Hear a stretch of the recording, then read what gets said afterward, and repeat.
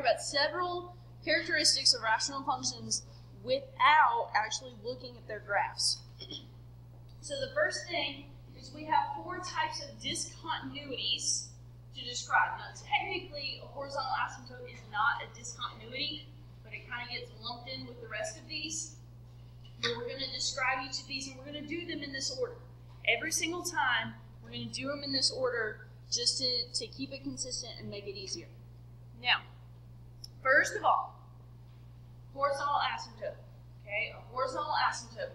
We can abbreviate that HA.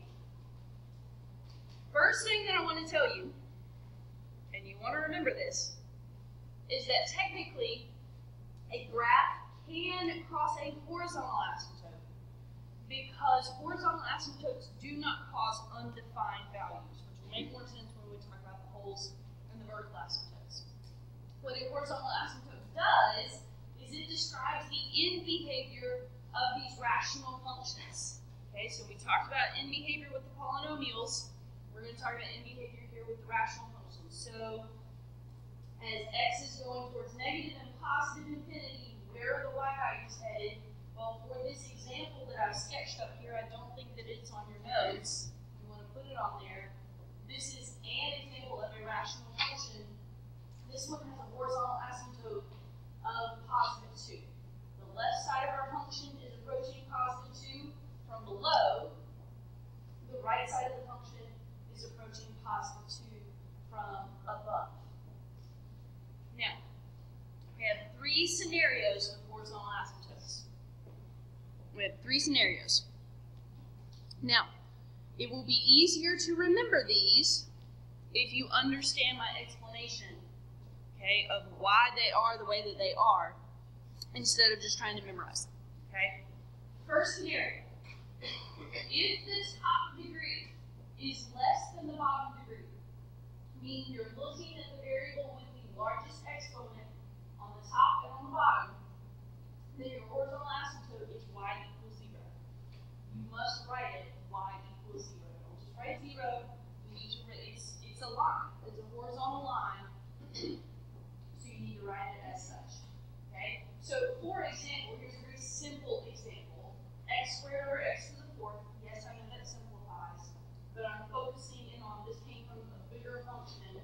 X squared was the highest exponent at the top. X to the fourth was the highest exponent at the bottom. The reason why it approaches zero is think about as we're headed to positive infinity, we've got positive infinity squared over positive infinity to the fourth. Which one's bigger, squared or to the fourth? To the fourth. What happens when you divide by a really big number? What's the result? A small number. That's why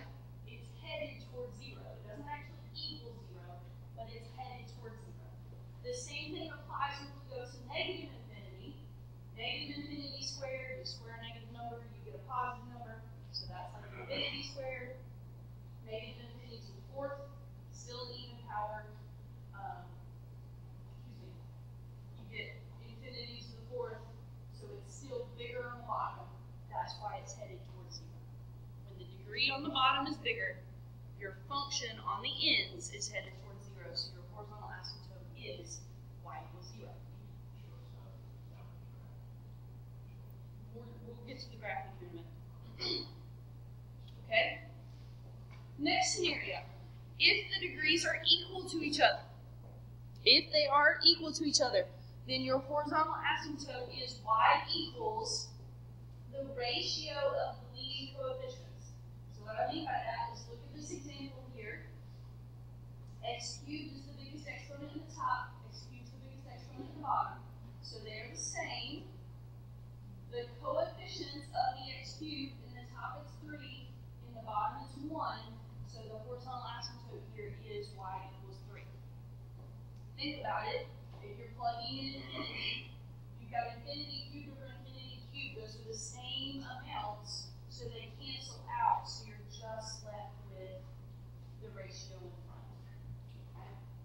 So that's why that horizontal asymptote is the way it is. The third scenario that we have is if the top is greater than the bottom. We don't have a horizontal asymptote. Here's why. I'll talk about that in a second. In this example, we have x to the fifth on top, x squared on the bottom. So you told me earlier that infinity to the fourth was bigger than infinity squared. Same thing applies here. Infinity to the fifth is bigger than just infinity squared. So what happens when you divide a really, really, really big number by a not so big number? The result is still a really big number. So we're not headed towards a specific value. We're not leveling off towards a specific value. We're just continuing to grow. So there's no horizontal asymptote. A horizontal asymptote means you're approaching something on the ends. We're not approaching anything in this case. It's continuing to grow. Um, so we do not have a horizontal asymptote. It is possibly a slant asymptote, which is another type we'll talk about uh, probably tomorrow. Um, but all you need to know right now is there's not a horizontal asymptote in that case. Okay, so really quickly, let's look at example one. Determine the horizontal asymptote if there is one for each of these functions. So that first one right there, it's just inspection, guys. This is not hard. You just have to look. In the top, we've got 2x. In the bottom, we have 3x squared. It's bigger in the bottom. So that horizontal asymptote is y equals 0.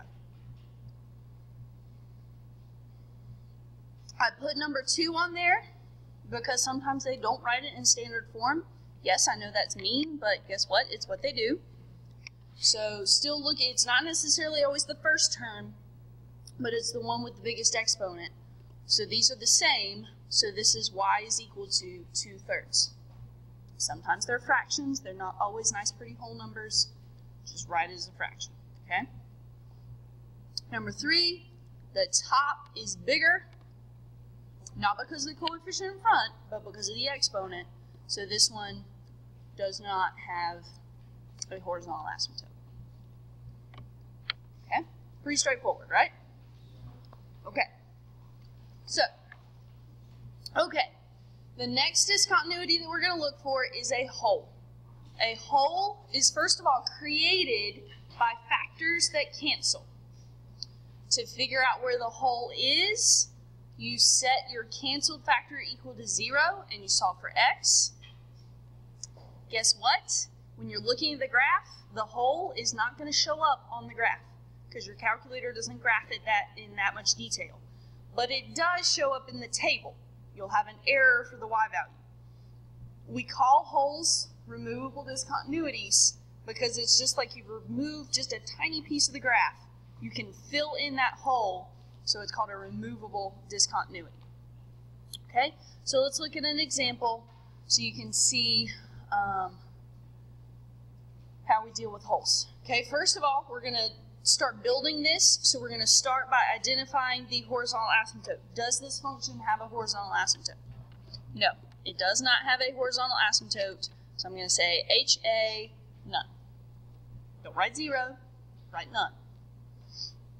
All right, so I said that holes were created by canceled factors.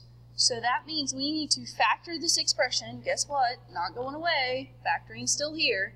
Okay, the top is the difference of perfect squares. So I've got x plus 1 times x minus 1 over x minus 1. We cancel the x minus 1's. We are left with x plus 1. We'll come back to that part here in a second. So for the hole, we take what we canceled. We canceled x minus 1 and we set it equal to 0 and we solve for x. So that means our hole is located at x equals 1. Well, it's actually a point. We need to find out, well, what would the y value be if it weren't a hole? Okay, what would the y value be if there weren't a hole in the graph there? So what we do is we take that x value and we plug it into the simplified version of the expression. So we plug in 1 for x, so we get 1 plus 1 is 2. So our hole is at the point 1, 2.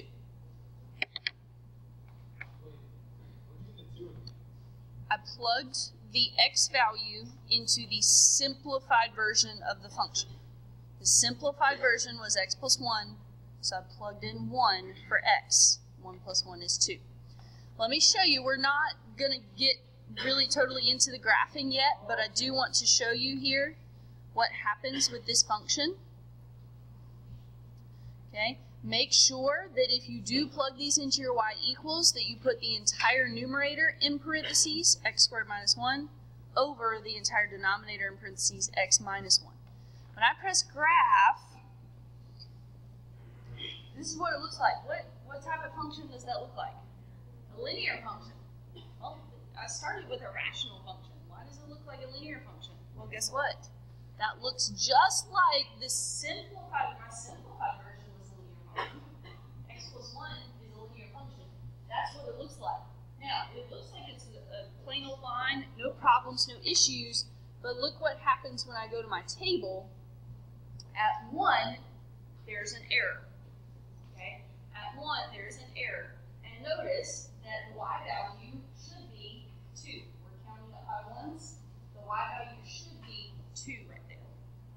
Okay, so that's where the hole would be. Now, when we do get to graphing, even though you can't see it on your calculator, when you graph it by hand, you're going to put a physical hole at this point right here. You're going to put a little open circle, and then you'll fill in the rest of the graph around it. Now, let's look really quickly at back at the original part or the original function. If I plug in 1 into my original function, f of 1, I get 1 squared minus 1 over 1 minus 1. That gives me 0 over 0. Okay? That is what we call an indeterminate form. Indeterminate form. 0 divided by 0, technically we don't really know what that is. Okay, remember division is grouping things together. Well, how do we group nothing into no groups? Right? It doesn't really make sense. There's no definition for that. That is what a hole is. Okay, when you plug in that x value, you're going to get 0 over 0. And that's an indeterminate form. That's where a hole occurs. Okay? You can have more than one.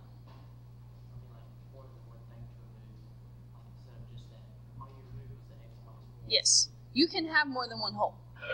It is possible to have more than one hole. Then you would just set each of them equal to zero. Yeah. Okay, let's look at another example. Okay, we need to factor this expression. Well, first of all, horizontal asymptote. Do we have one? No. Okay, this one does not have a horizontal asymptote either. The top has a higher degree than the bottom. So let's jump into our factoring. How do we factor that numerator? Grouping. Grouping. Yay. Grouping. Okay, take out an x squared from the first two terms. We're left with x minus 6. What do we take out of the second two terms? Very nice. A negative. Negative 1 leaves us with x minus 6. Okay, remember those are supposed to be the same. The denominator, what is it? x plus 3 times x minus 1. 3 times negative 1 is negative 3. 3 minus 1 is 2. We are not finished. We can factor again in the numerator because when we group our GCFs together there, x squared minus 1 is the difference of perfect squares. x plus 1 times x minus 1